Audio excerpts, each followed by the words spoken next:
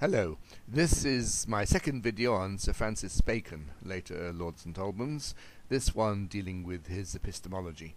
A third video will deal with his vision of science.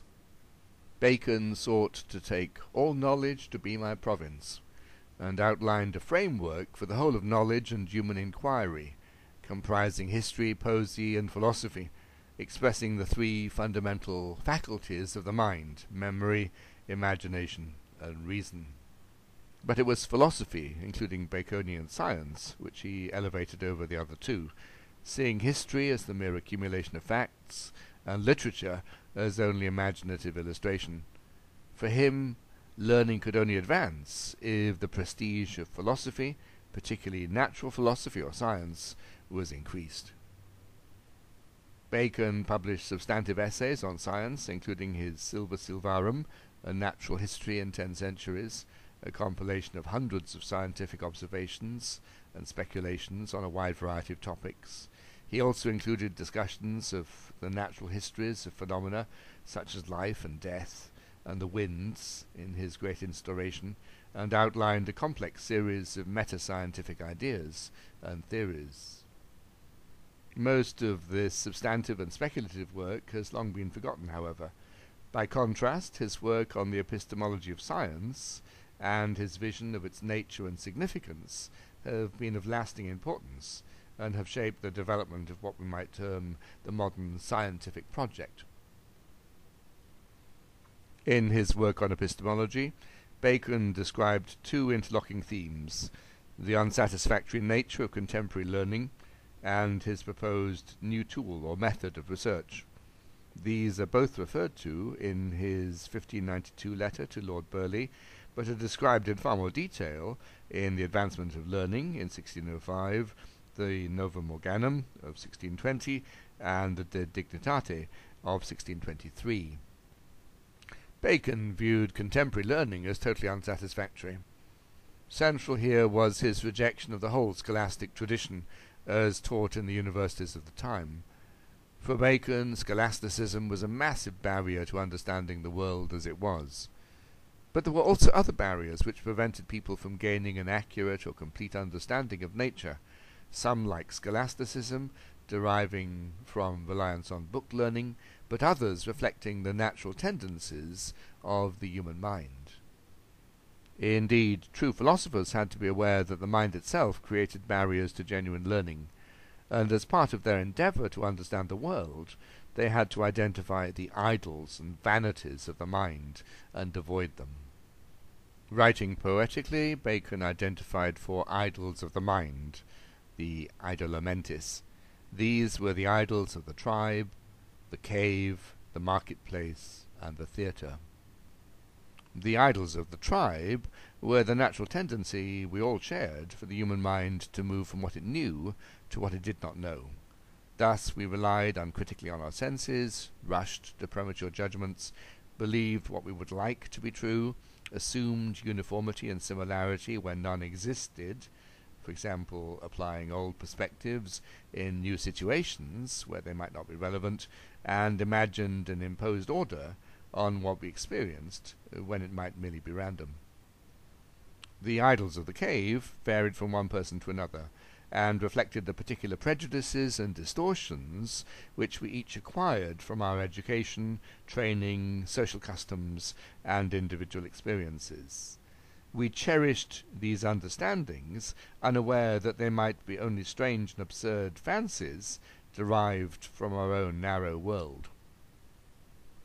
The idols of the marketplace were those which derived from language, such as the terms for imaginary things, which we then assumed existed, like the supposed crystalline spheres of Aristotelian Ptolemaic cosmology, or misleading terms for things which did not exist.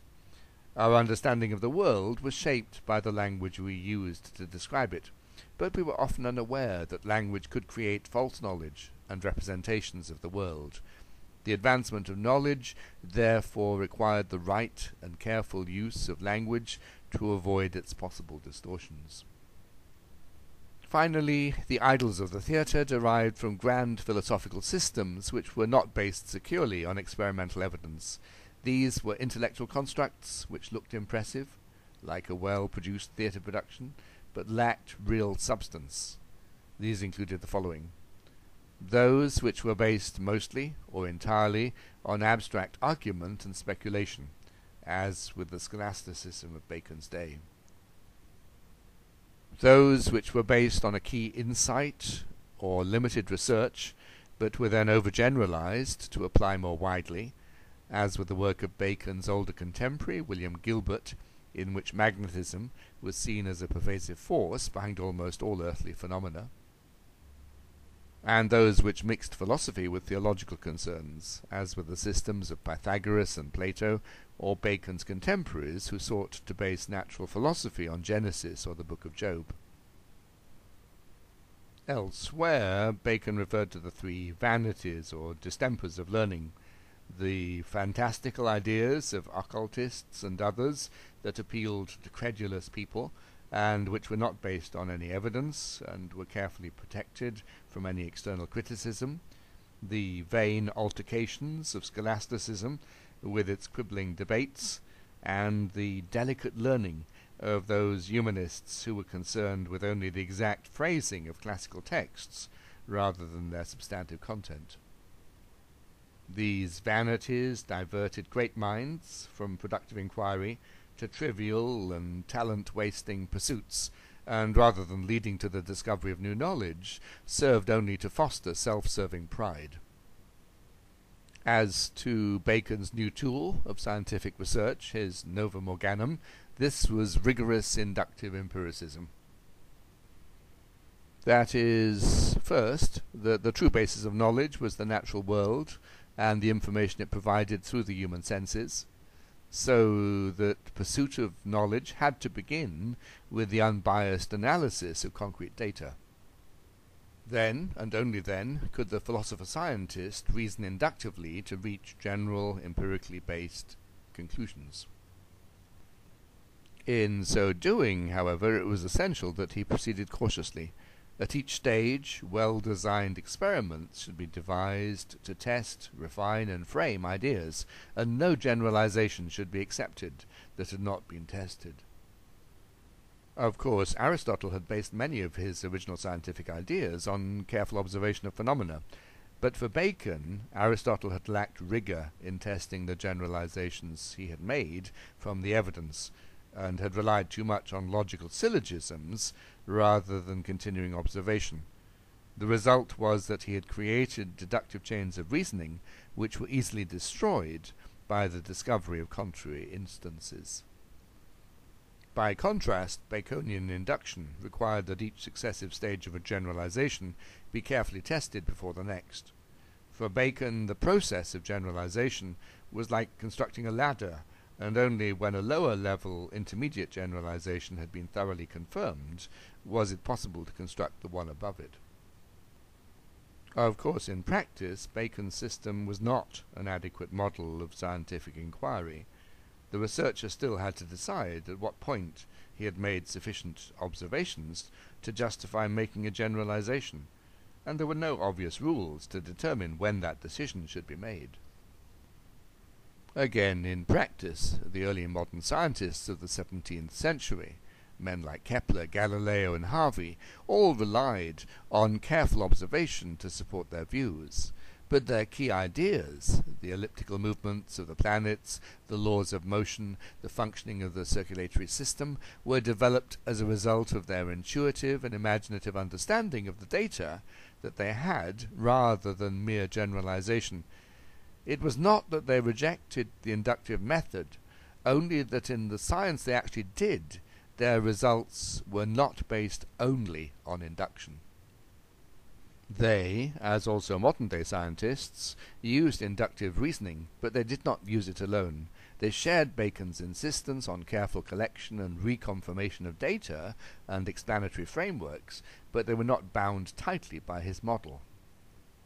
As William Harvey, Bacon's younger contemporary, and best remembered for his work on the circulation of the blood, quipped, Bacon had written of natural philosophy like a Lord Chancellor, rather than an actual practitioner.